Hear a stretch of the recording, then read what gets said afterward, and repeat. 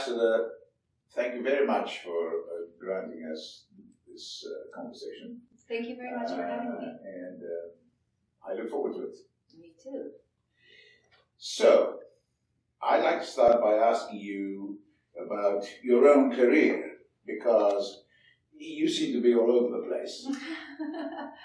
I mean, you were five years a delegate of the Kosovo Assembly, by which I mean you were a parliamentarian. Yes. And then you went to, to journalism school. yes. In other words, you went from being parliamentarian to No, journalism. I, I did it sim- simultaneously. Simultaneously. Yes. But part of it was in the United States and part of it was in France. Uh, yes. In United No, I did. I did courses here, and I did courses In the United States, where? Well, those were specifically designed programs for um, for um, young leaders of, uh, I of. Kosovo. So. And France as well, in Paris, Yes, presumably. yes, yes. And then um, you went into uh, diplomacy. Yes. You were deputy foreign minister and even foreign minister for a while. Mhm.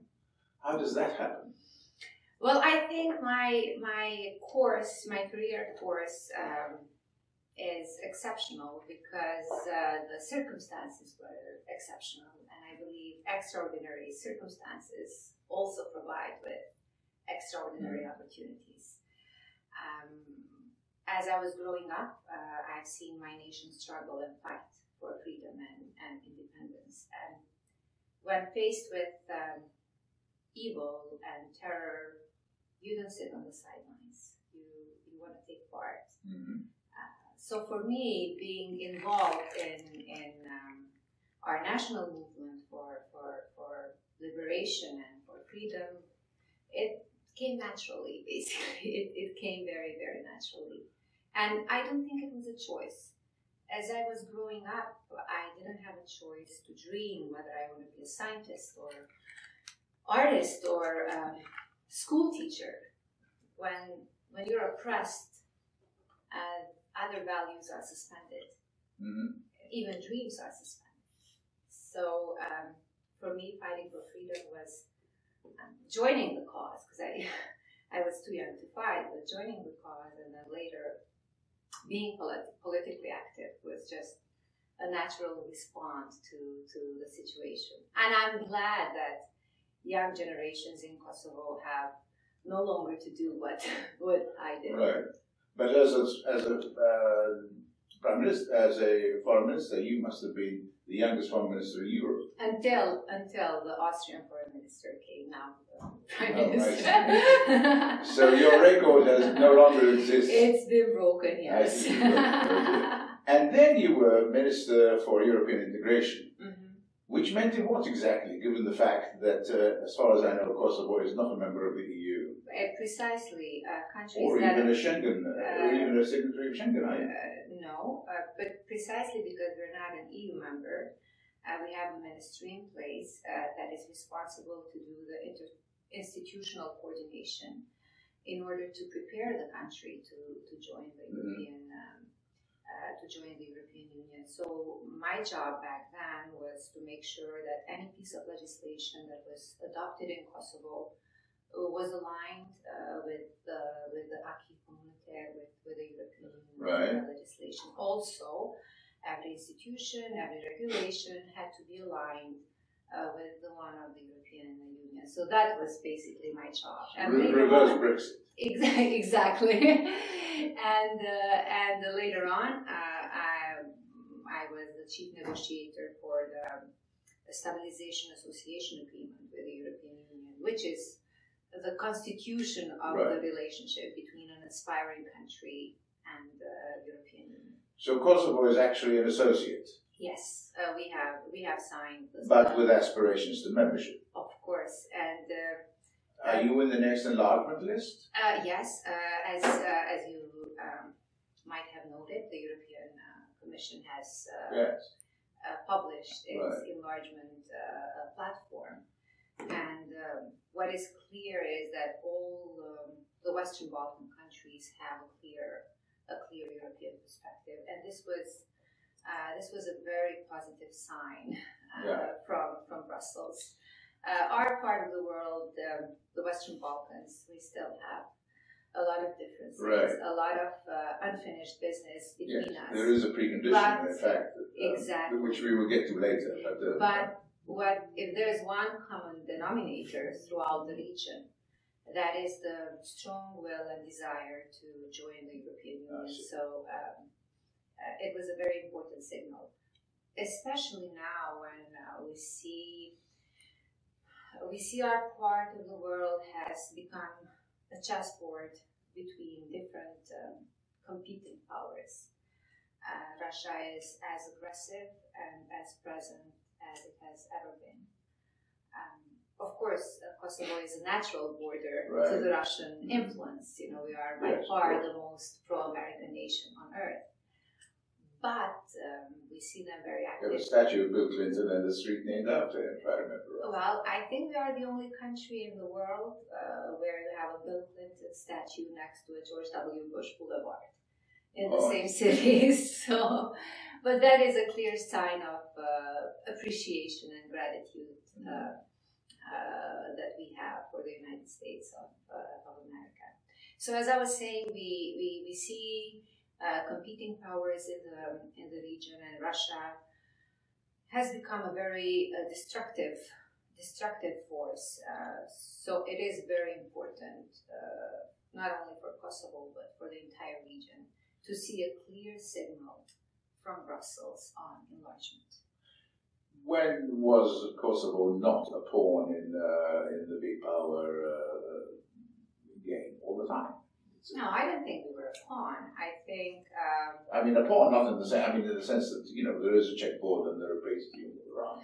well. Uh, not in the sense I- I- control think- control. I think it's a place where where values crashed. Uh, I, Euro-Atlantic values uh, and uh, hegemonist values uh, from uh, from Milosevic and and, and Russia. Uh, so you are on the right side of on the right side of, Right. uh, of history. Um, the the um, pro-American sentiment, you know, it's not only a, a, a, a geopolitical orientation. It's it's a sentiment that's deeply rooted in in the hearts and, and minds of uh, of every Kosovar. Is there expectations of what you'd like to achieve when you, by the time you left? Well, first and foremost, to preserve the very special bond, the very special uh, nature of the relationship between um, Kosovo and the United States. Um, of course, uh, uh, my first priority when I came here was to try and remind um, the administration that uh, Kosovo is still unfinished business. Mm-hmm. Uh, we're still not a UN member Mm-hmm. we still have not concluded our state infrastructure, so Mm. so to say, and this is not something we can do alone. Unfortunately, this is not something Brussels can do alone either. Right. Um, as the record shows, as as the history, the recent history, has taught us, without direct U.S. involvement, um, the course of history in our part of the world can take a very, very um, dangerous turn. So, um, at a time of competing priorities uh, from North Mhm. Korea to Iran, um, I will, first of all, I'm grateful and thankful that Kosovo is not a hot spot Yes, anymore. course. Yes, yes. But it's other hand, get still- lost. Uh, It is still unfinished business, and if not taken care of properly, um, the record in the Western Balkans shows that the progress is easily reversible. right. Especially now when we see very aggressive Russia in our part of the world. We have seen just recently uh, what they tried to do in a very aggressive form in Montenegro. Yes. So, and we, and you know, we're all interdependent, and instability in our neighbor is an instability for, for Kosovo Mhm, as well. So, to my first job was to try and um, um, get the attention and uh, remind the administration that although peaceful, our part of the world is still um, unfinished uh, Mhm. business. And I must say that, um, uh, not of course, this is not to my credit, but uh, together with my colleagues, also from uh, our neighboring countries, we have managed to to bring uh, Kosovo and the Western Balkans at, uh, at the heart of, uh, of, the, of the priorities um, at the State Department. So that was the first one. Right. Secondly, for me um, and for Kosovo, it's uh, very important to establish the armed forces. You know, we celebrated our 10th uh, anniversary, Anniversary, of uh, independence, but we still don't have that is because uh, the vote in the parliament, the constitutional changes in the parliament have been have still uh, been are being held hostage of the Serbian minority uh, MPs. So what happens is that whenever there's a there's a, a military uh, le- le- legislation to establish the military, the Serbians vote against it, They don't vote at all. or they vote at all. Yes, and um, according to our And you would need what constitution, we thirds need majority. We will have a two-third majority, but uh, in order to have a constitutional change, uh, we need a double majority. We need see, not yeah. only the majority of the Albanian vote, but also of the uh, non-Albanian Right. members of the of the parliament. So this is part of the of the legislation of the constitutional uh, rules that we, we adopted after we declared independence. Um, but um, what has become very obvious in these 10 years is that uh, uh, the Serbian members of, the parliament in, in Kosovo um, refuse to take part in this debate, not because uh, they don't want to, but because they're instructed by Belgrade not to. And uh, I think the time has come for us to be more creative and to look at different uh, ways on how we can establish our, our armed forces. It's, um, it's a fundamental right of Kosovars to have their own armed forces. Now we know that in the century we live in, it's not the army that protects you, it's the quality of your alliances that Mm. provides security. Right. Nonetheless, uh, we believe the time has come for Kosovo to contribute, Right. not only to consume uh, security. We want to be able to develop our own forces that will be able to serve alongside U.S. and NATO soldiers uh, all, uh, all around the world. You, you're not members of NATO. No, we're not, and that you cannot be a member of NATO without an army. Uh, So- Iceland is a member of NATO. So, uh, well, uh, they have a specialized forces, but in order to have, they have a specialized forces, but in order to have to enter, Iceland a- does. yes, in I order they to, had no, no military at all. no, they do. In order to, and they had the peacekeeping uh, soldiers in Kosovo also, Right. but Oh, there uh, are Icelandic.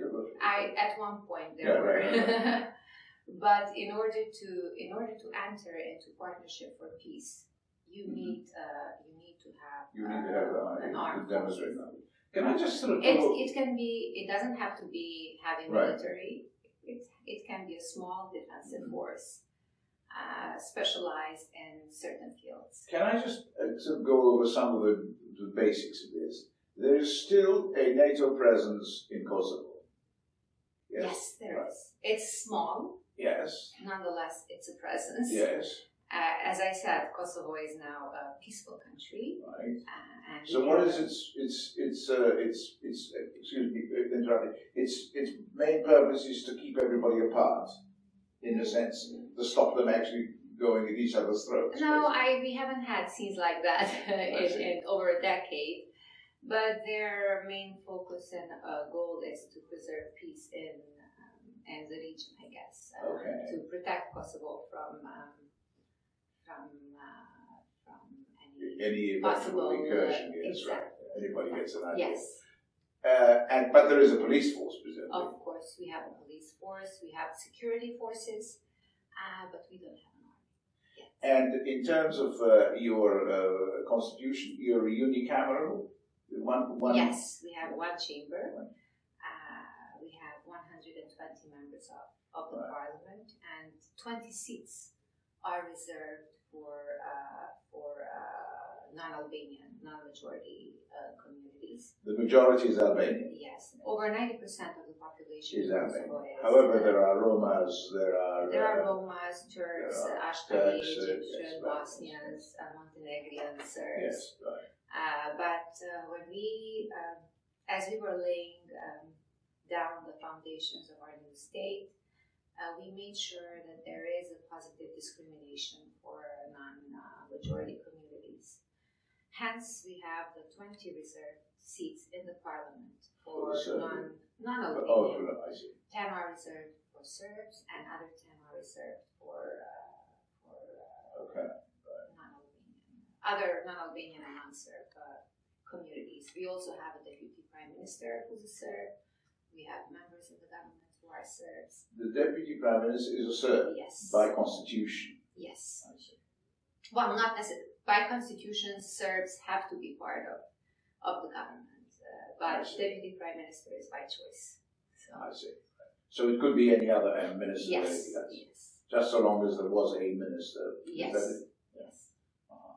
Well, but the, in that case, can I, as far as the army is concerned, a thought strikes me, which is that um, as far as combat experience, you have an awful lot of characters around, do you not?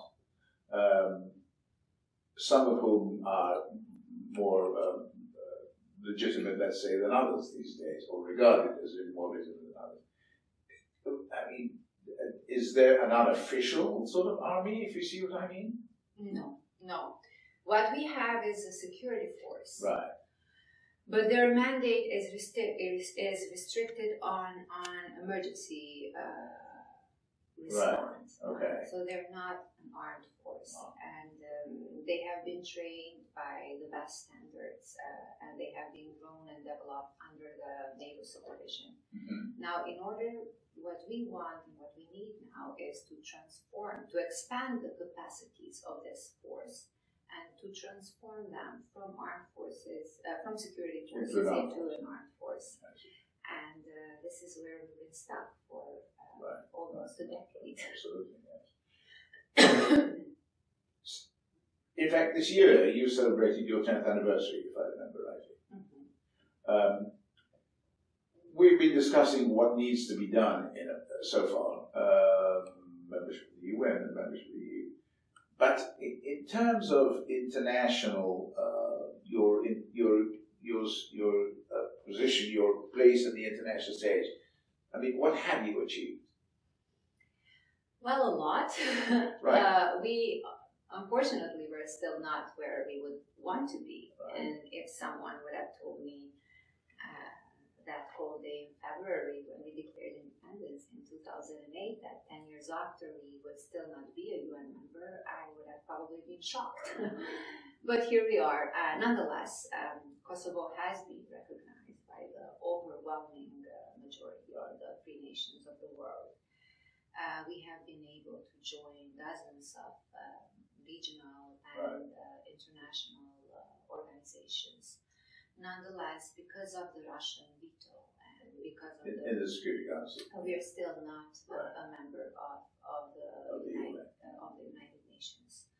Um, but um, every day, uh, more and more, our youth uh, and our talented people are transcending uh, political boundaries and uh, making us proud uh, on a global stage. Uh, last year, we participated for the first time in the uh, Olympics Right. and uh, we won our first uh, golden medal. Really? Uh, it was far, first participation, and it was the first In- gold in judo, Ah. and it was won by a girl. Oh. So uh, you should never say you fight like a girl in Right, Kosovo, yeah. because uh, women in Kosovo fight pretty hard. Um, and we have other young, talented people who are excelling in different fields, from arts to sports uh, to science. So a lot has been accomplished, but of course, uh, much more remains to be done. Needless to say, these are challenges that Kosovo won't be able to overcome alone. Matter what we do, we will never be able to change Russia's position. Hence, we need Well, the Russians, in fact, uh, don't recognize Kosovo, and presumably the Serbs don't recognize Kosovo. Uh, but uh, but there are some strange, other strange. For example, Cyprus doesn't recognize Kosovo, And I can't understand why that should be. And even more surprising, Spain doesn't recognize it. Why is that? Well, I, I mean, given that, you know, most of the European Union uh, yes, does, it's just, yes, there are still five EU countries uh, that have not uh, recognized independence of Kosovo. Nonetheless, I, I need to say that this is not an anti-Kosovo bloc. It's not a homogeneous anti-Kosovo Right. bloc. They all have they have individual reasons. different reasons uh, why they have not recognized. Um, anyway, nonetheless, they have uh, all supported uh, Kosovo's European future. Right. None of them has objected the Stabilization Association Agreement for Kosovo, and they were there when the new strategy for the enlargement was adopted, and none of them objected Kosovo being a part of it. I think many of them missed the opportunity to, to recognize Kosovo uh, right after um, the International Court of Justice ruled about the legality of Kosovo's declaration of independence. As you might remember, uh, after we declared our independence, the Serbian um, government Charged uh, charged, uh, um, filed the case Yes. at the uh, International Court of yes. Justice. And uh, the ruling of the court was as clear and as unambiguous as it could be. It clearly stated that Kosovo was within its rights when it declared independence, and that um, no international law was violated. Right. Yes, yes. I think that provided a perfect opportunity, not only for the five non-EU, uh, for the five EU non-recognizers, but also for other countries around the world to take the right step. Uh, but as I said, um, they have their own um, individual uh, excuses, uh, I must say, and Well, let's take Cyprus. What is their excuse? Well, they still have their um, unresolved uh, situation with, Oh, with the, uh, the Turks. exactly. Yeah. So um, I guess this is why they still haven't made uh, I the see. move. Because if they recognize you, then But- why would they not recognize the Turkish Uh. But there's no analogy uh, whatsoever. Uh, thought the not. Yeah. declaration, Kosovo's independence is not a product of the secession. The same Uh, Oh, because of the Basques? Yes, but you know, um, Kosovo's independence is not a product of a secessionist Yeah. movement. Yes, yes. yes. Our independence is a product of unconsensual dissolution of Yugoslavia. Kosovo had borders long before it had statehood. Right. Um, but um, as you know, in politics uh, and internet and in international relations, Right. things don't always go as uh, as planned. But the undeniable truth is that Kosovo's independence has brought more peace and stability in the region than ever before.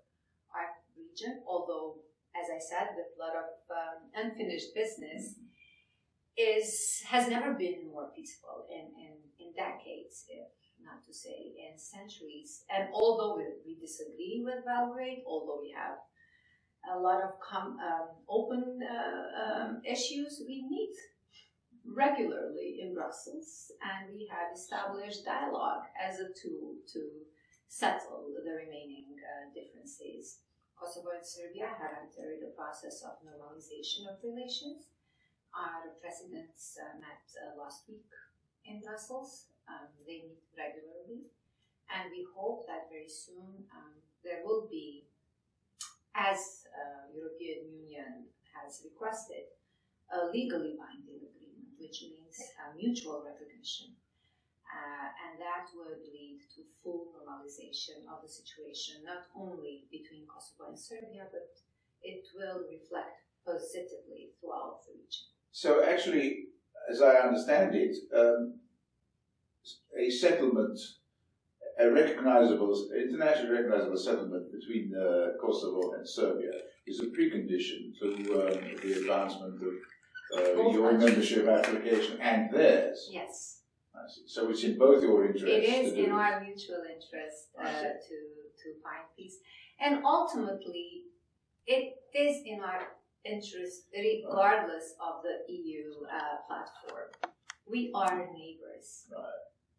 Blessed or doomed, we will be living next to each other for the rest of history. Right. cannot change what happened, and we cannot certainly change geography. Right. We are there, and they will be there. So the sooner we close this dark chapter of, of the past, the better it will be. You know, yesterday, the day before yesterday, actually marked the 19th anniversary of NATO intervention in former Yugoslavia. Oh, okay, yes. And every day we're reminded of, of the atrocities and of the crimes and the attempted genocide.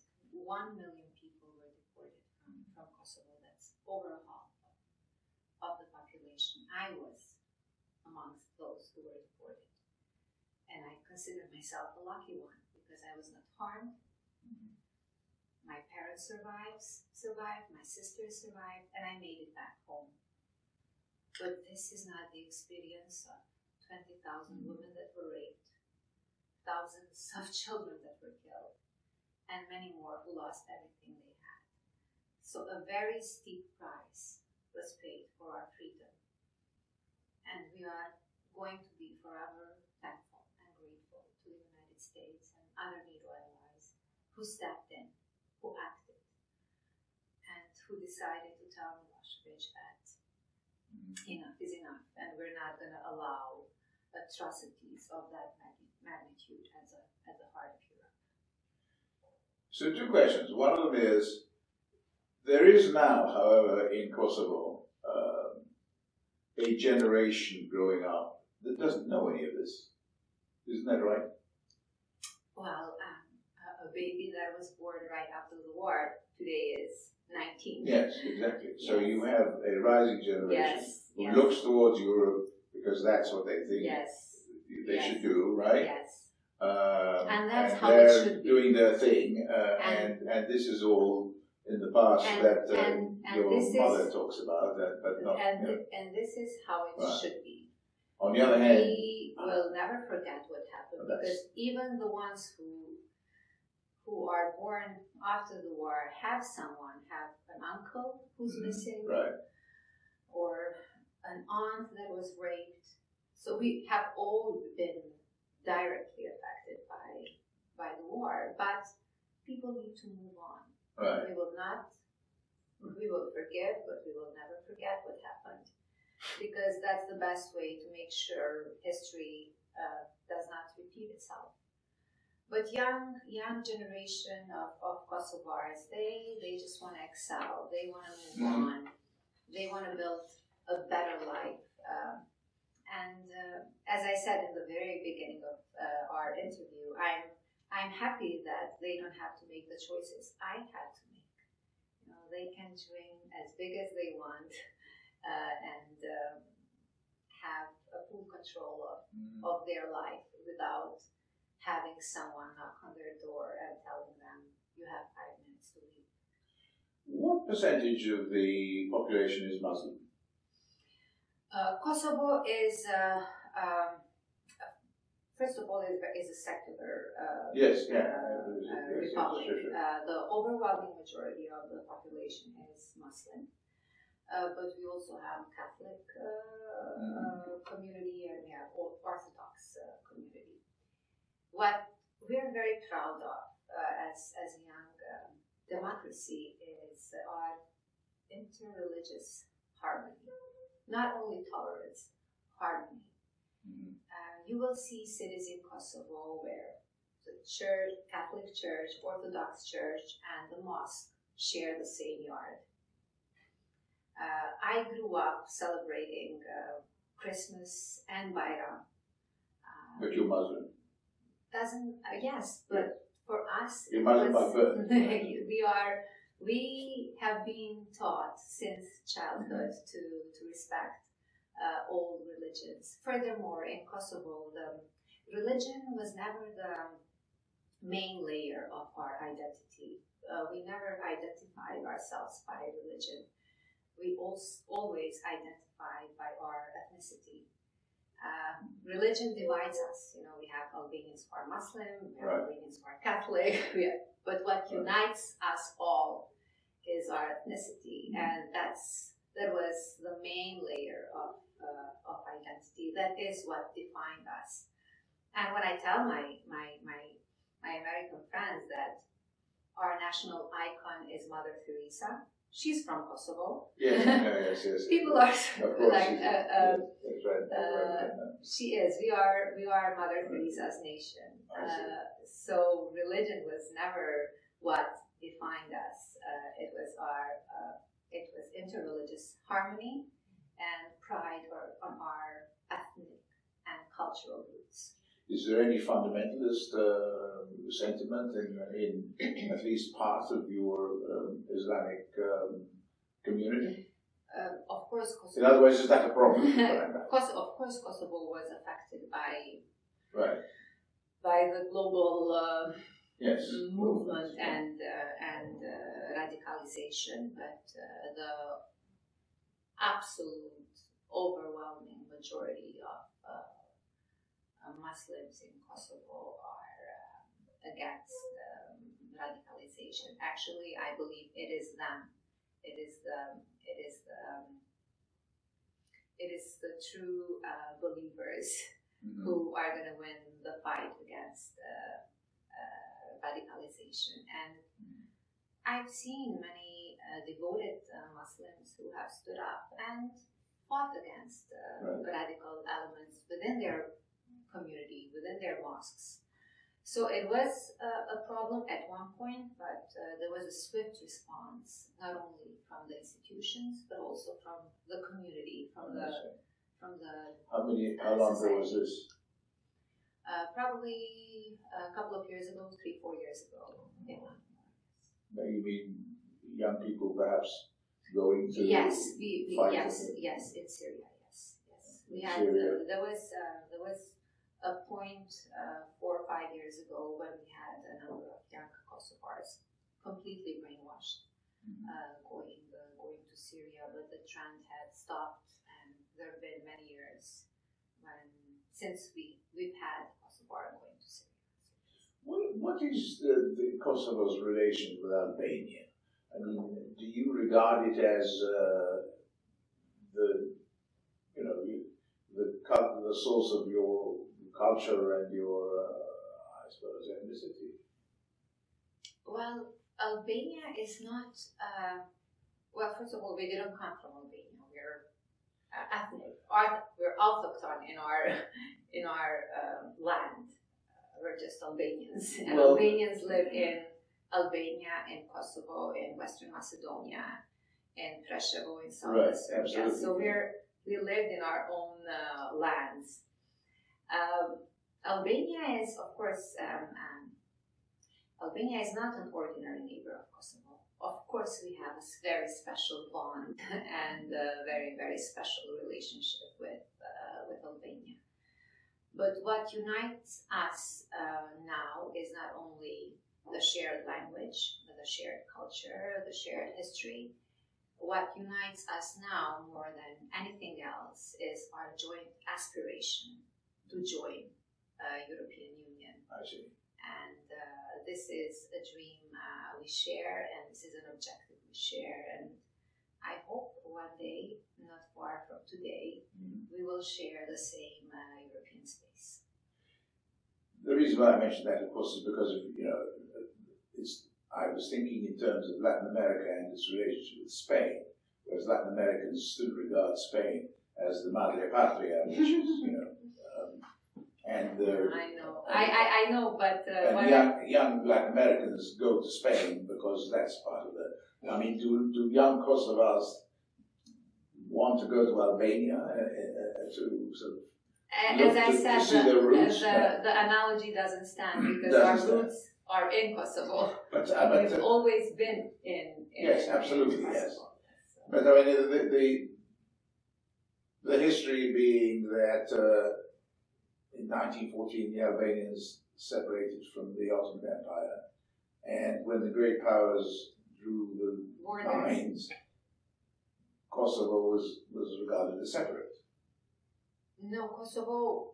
Kosovo was separated because initially Yes, we they left part- it out, They, basically. we were we were left. Uh, we were As, left. as they did with Macedonia. Exactly. So, uh, but then it depends how far back in the history we we young people in Kosovo don't have time for that. Okay, yes. um, now, uh, so where would they look to? I mean, they look they to look to Europe, and Albania is Europe. Oh, no question. Yes. So they look to Europe, uh, they look to the West, uh, they look to America.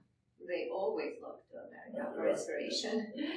So, uh, as I said, we, we have a, a shared history, a shared culture. You know, my name is Vlora, and is a city in Albania where independence of Albania Of was course, declared. yes.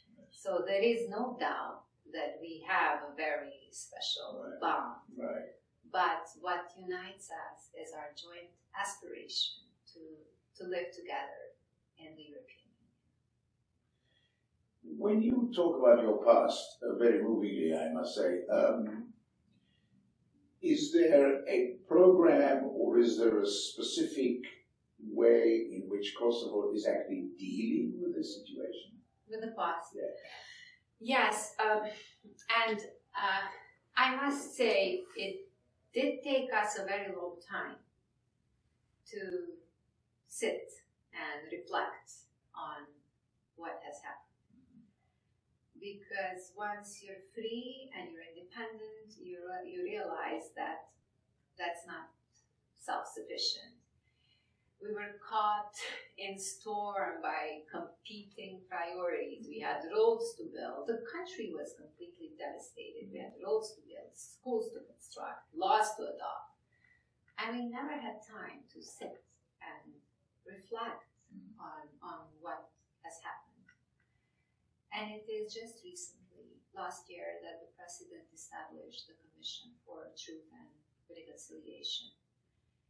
It was only last year that we finally adopted the appropriate legislation to, to give pensions to the survivors of the sexual violence in, uh, in Kosovo. As I said, 20,000 women were raped during the war in Kosovo, and for almost 20 years, they were completely neglected by the society and by the institutions. Furthermore, they were stigmatized and they lived with shame, and we did nothing for 20 years to help them, to support them. So it took us so long, but I'm glad we finally, we finally did it.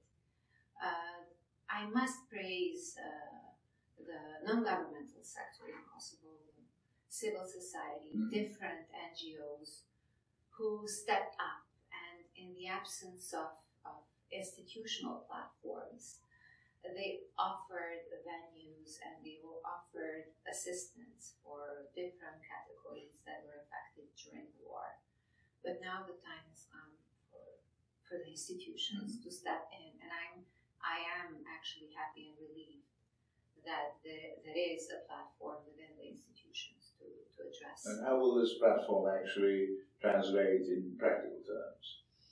Uh, well, um, the, the, you know, there are, for example, around there are over a thousand people missing in Kosovo still, right?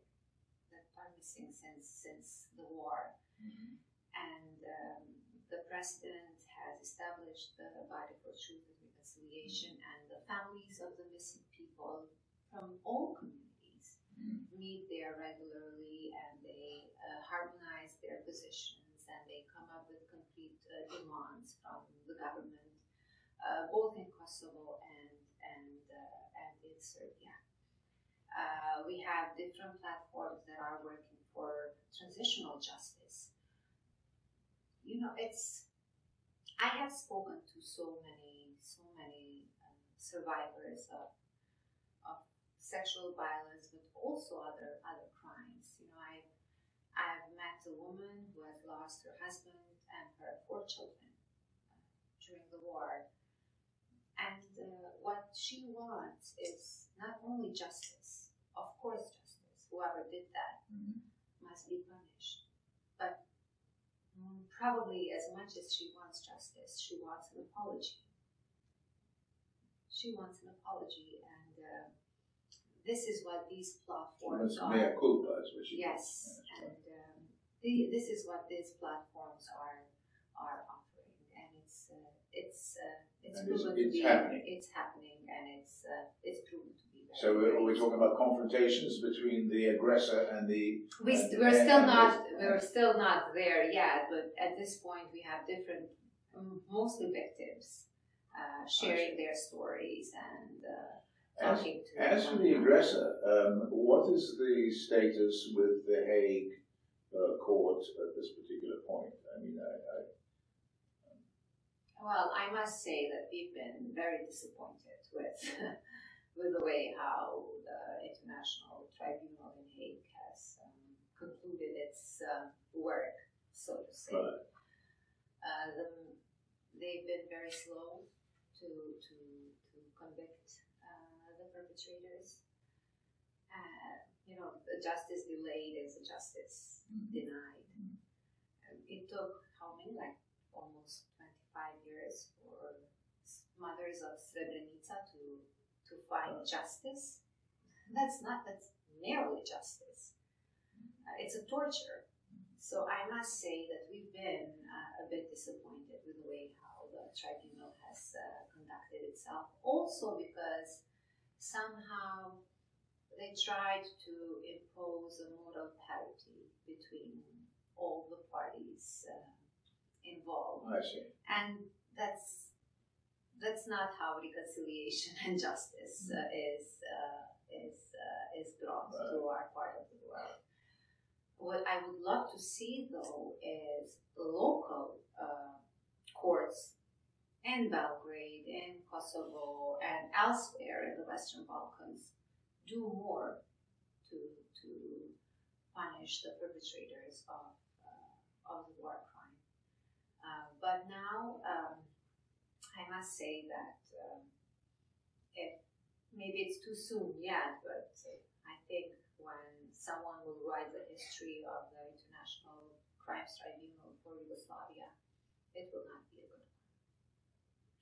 But isn't one of the problems that uh, this is the problem? One of the arguments is made by the by the Hague, in fact, and isn't one of the problems that, in effect, there's a, a very a very um, grey area where you know members of the is it SK How possible? yes KLA, KLA um, you know because basically KLA is now a power as a political power, is it not? No, KLA um, ceased to exist the moment uh, But, Kosovo but, was, but was former members. Yeah, well, there were many former members That's right. of KLA. Some decided to go back to their previous life, Right, yes, that's that's continue doing what they were doing.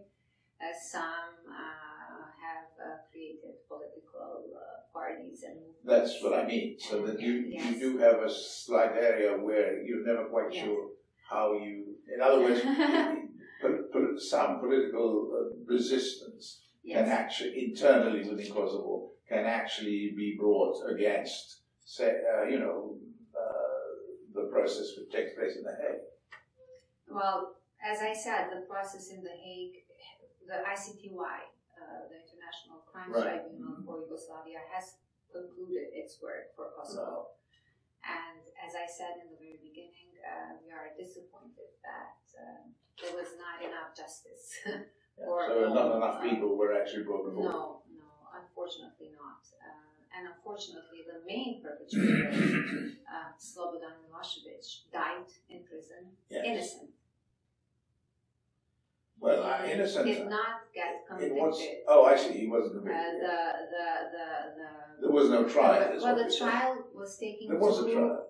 long. The Ah. trial was taking Right. too long. Uh, the trial became a charade.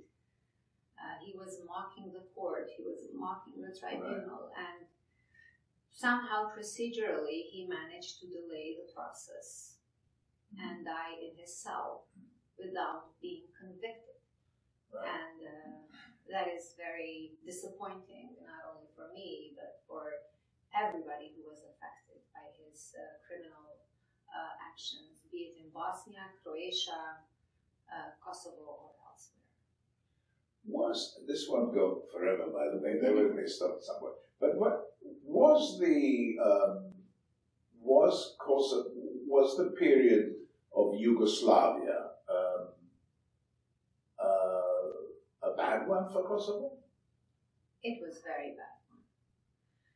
I mean, under the under the Tito regime. Yes, yes, it was Kosovo was uh, Kosovo was treated as a. It was never a province, was it? Well, we were a province. You were a we province. Were, we had our constitutional rights. Right, we but were you didn't a- have a. No, we were a federal unit. Uh, we were Ah, a you were a federal. federal unit. uh, we were a federal unit in, in Yugoslavia until Milosevic came into Came- power right, right, and right, right. Uh, abrogated our autonomy. But even during those times uh, when we were um, federal unit in Yugoslavia, um, we were completely discriminated. Uh, you've heard of Nelson Mandela, of course, but um, let me tell you about Adem Demaci. I He's know where watch is. I've been to Kosovo Very good. times. So he spent almost three decades in prison, Absolutely. in Yugoslav prisons. And there were many more political prisoners from, from Kosovo uh, who have spent decades in Yugoslav prisons Right. just because of political beliefs. Can you imagine? We were we were um, we were discriminated from politics to economy and Right. everything else. We built our first highway at the very heart of Europe just seven, eight years ago. Kosovo was exploited or completely Right. discriminated, even under under Yugoslavia. Um, how do you find uh, working in uh, Washington as a woman diplomat? I know that's probably a sexist question, but, no, it's not. but it's uh. I mean, it, it was, here you are, um, you know, an ambassador in Washington. What what are the problems? What are the challenges that you find here professionally? Uh, well, I must say that for a diplomat, uh, Washington is the place to be because, um, and especially if you're from Kosovo, uh, Washington is the main address uh, for uh, consultations and for alignment. So for me, it's very fulfilling uh, to be here in Washington. Of course, uh, being uh, an ambassador of a small country um, is uh, is challenging. Um, you know, you you have only five minutes to make your case, and if you don't make your case in five minutes, you lose uh, you lose the the attention because there's a crisis uh, somewhere else. And nonetheless, I must say that because of the nature of the relationship we have with Washington, because of the nature of the relationship we have with America, I must say that for me, it's been one of the most fulfilling um, uh, periods of, uh, of my career.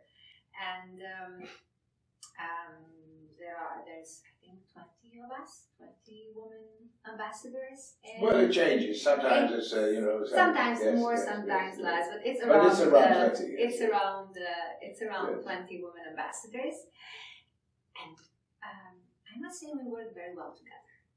We we share information. We talk to one another, although we are from a very different parts of the of the world. Right. We share contacts.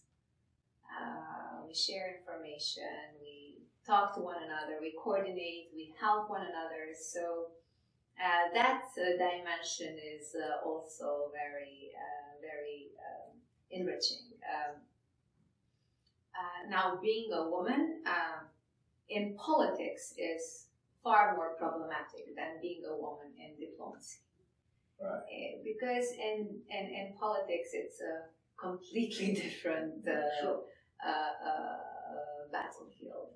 But here, I must say that um, uh, being a woman uh, and sharing the club with uh, another 20 extraordinary uh, women has been one of the most enriching experiences of my life. What about the um, regional uh, uh, arrangements that some national, that some groups have? For example, you know, the EU ambassadors meet regularly. Uh, do the Balkan ambassadors meet regularly? It's, you know what? It's very interesting. For example, when we go at the receptions, somehow we all find one another you have there the Southeastern European group Yes, and I- I- yes, uh, the Central America, like we. yes. But then there is some of us, like me, who crosses those uh, those border borders Right. and uh, and reaches out to to. But do you other- meet regularly? Uh, well, I mean, we the have, Africans meet regularly, for example. Uh, we, we, we have meet we meet very frequently. Uh, Uh-huh. I uh, I must say we, we do meet actually very very frequently, and uh, um, but I think the role model uh, are the Nordics. They are the best, Yes. and I wish I could join them as an honorary member. It's they do fantastic things together, Right. and Yes, uh, that's true. I hope that one day uh, Western Balkans uh, ambassadors can can do the same. Well, outside of Europe, the Latin Americans get together very frequently too. They get together once a month. So there's the organization is called Grula. They do get, but then after a while, um, it's not only about sitting around the same Of table. course, it's yeah. about doing, Doing things stuff, yes. together. And on this regard, I think the Nordics are the champions of, of all. Okay. okay. Finally, um, is there a time frame around the NATO uh, presence? In Kosovo, Yes. Uh, no, uh, there isn't, and uh, I consider that uh, NATO should continue to be present in Kosovo, not for a peacekeeping purpose anymore, because Kosovo is at peace, but for a geostrategic uh, balance. Uh, Russia is building uh, a base in southern Serbia. Now they call it a humanitarian response base, uh, but um, uh, if it's a humanitarian response, then why are they asking for diplomatic immunity for, for the personnel? So we all know what, what it is. Right. Hence, we all, I believe that it's uh, not only on Kosovo's interest, but it's in the interest of the Euro-Atlantic Alliance Right, to preserve uh, some form of presence in, uh, in the Western Balkans, and they're already in Kosovo, so uh, they Yes, are might as welcome. well. They are welcome to stay. Ambassador, thank you very much for Thank this you. It was my honor. Thank you.